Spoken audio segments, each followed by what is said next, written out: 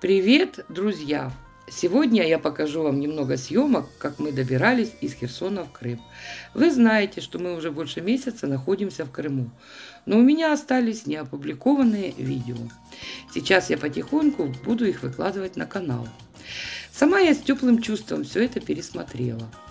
Когда мы переправились из Херсона в Олежки, а это было ближе к вечеру, нас любезно пригласил к себе на ночевку наш подписчик Роман в село Казачьи лагеря. И мы, конечно же, согласились. Понятно, что в ночь ехать было не самое правильное решение. Нас встретили Роман и его прекрасная мама. Накормили, напоили и спать уложили. Спасибо им огромное. Это еще одни хорошие люди, которые встретились нам на нашем пути. Ну и немного о селе. Территория казачьих лагерей была заселена уже в древние времена, свидетельством чего являются курганные погребения и два поселения эпохи бронзы второго тысячелетия до нашей эры, а также следы поселения скифских времен 3-5 веков до нашей эры. Казачьи лагеря были основаны 1785 году бывшими запорожскими казаками и беглыми крестьянами с правобережной Украины. Название связано с тем, что вблизи села в 1783 году находился временный лагерь донских казаков. Население села быстро увеличивалось, чему способствовало его место расположения. Через казачьи лагери проходила дорога в Крым, по которой чумаки возили соль с Сиваша. До сих пор дорогу из казачьих лагерей на Радинск называют Солевозной, а в 1799 году здесь проживало уже 334 человека, а в 1822 году в 202 дворах насчитывалось 1139 жителей. Население занималось скотоводством, земледелием, ловлей рыбы, заготовкой и продажей камыша, солевозным промыслом. Многие жители села плавали с матросами на торговых судах. Через местную пристань в середине XIX века ежегодно вывозилось 180-200 тысяч пудов различных грузов – зерна, рыбы, шерсти. Едем по селу Казачьи лагеря. Ну, тут, конечно, немножко будет села, но, тем не менее, едем. Выезжаем уже. Да. Вчера был казус. Ну, сегодня уже все нормально. Да. Пришлось, аккуратно. пришлось снимать вот дополнительно. Повторно. Повторно, да. А такие кадры были. Ну, хорошие были кадры, что. Так, на улице у нас э, э, довольно-таки прохладненько. Но ветер э, стих, поэтому теплее, чем было вчера, вчера вечером. Да. Все-таки ближе к Крыму, знаете. Вот такие вот улочки тут. Кому-то знакомые, родные. Остановка называется винзавод. Да, тут был винзавод, конечно. Хорошее село, такое богатое. Люди выращивали продукцию э, раннюю капусту, огурцы. Вот. Здесь село стоит на песках, поэтому... Теплицы он. Теплицы, вот смотрите, вот это все теплицы. Люди очень часто, очень много использовали теплицы здесь. Да. Да. Здесь еще неплохая дорога. Мы как-то ехали по другой дороге. Там вообще все убито было.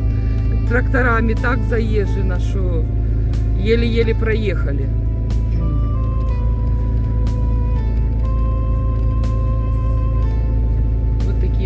Дворики. Едем потихоньку, прогреваем машину, коробку, мост. Ну, где-то если будет хорошая трасса с хорошей дорогой, можем немножко и притопить, насколько это возможно. Да, ну, что машина особо... подзагружена у нас. Да. Поэтому сильно притопить, наверное, не удастся. Ну, тем не менее. Километров 70-80 будем идти. Больше нет. Видите, сколько теплиц? Где-то вам, если попадется интернет в Крыму, выложим это видео. Хотя Монтян говорил, интернет в Крыму не очень. Ну, посмотрим, проверим, если что. магазинчики открыты.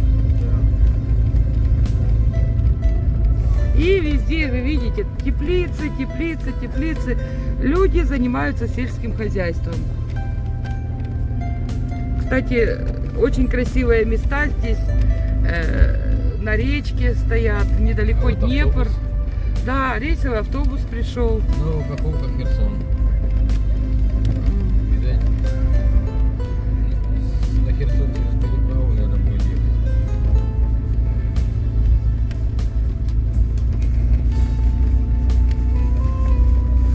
Такое, как кафешка какая-то стоит.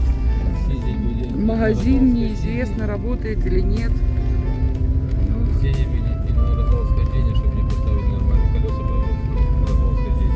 Ну, это только в Крыму. И, да, и руль выставили правильно, он неправильно стоит сейчас.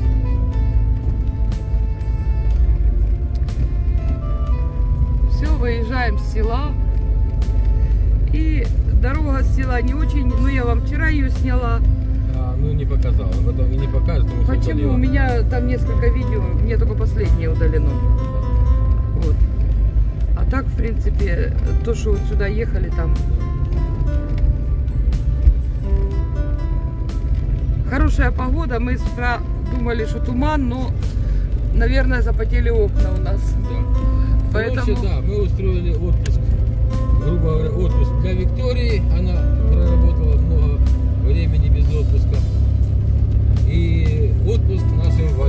Тоже много времени без отпуска. Так что будем расценивать тоже так. Да.